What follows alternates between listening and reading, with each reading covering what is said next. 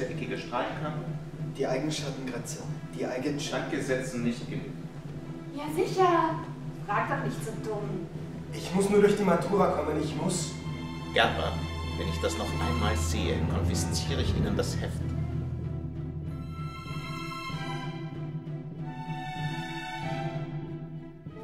Ich kenne den Betreffenden natürlich.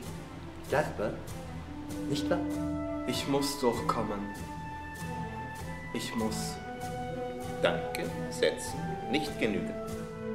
Wenn ich die Matura geschafft habe, werde ich mir die Servette nicht auf die Schenkel, sondern in den Kragen stecken.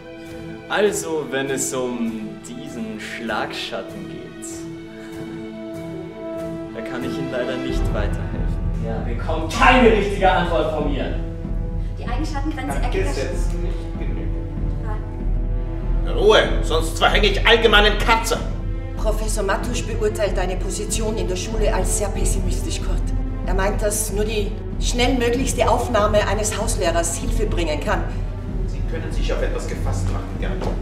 Jetzt machen Sie, dass Sie in die Schule kommen. Das Weitere wird sich finden.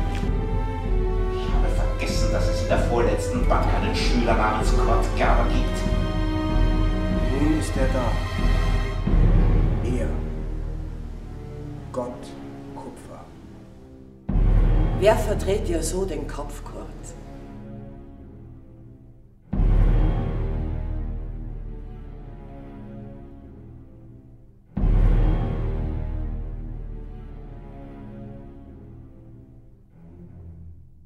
Danke, setzen nicht genügend.